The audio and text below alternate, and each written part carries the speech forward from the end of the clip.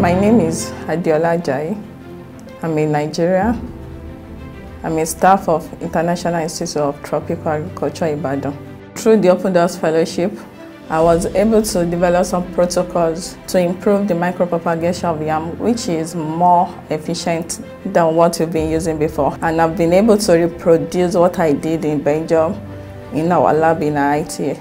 I was able to sharpen some of my skills and build research relationship with experts. And we are still taking some courses after we came back to our home country. I was able to take courses on cross-cultural communication, how to communicate my research with clarity and purpose. Some of the training has helped me to achieve some of my goals.